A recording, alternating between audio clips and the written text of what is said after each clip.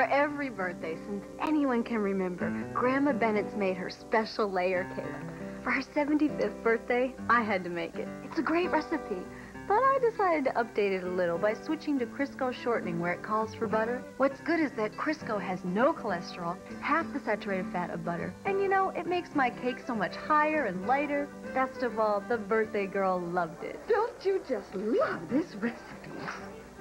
Switch to Crisco for good.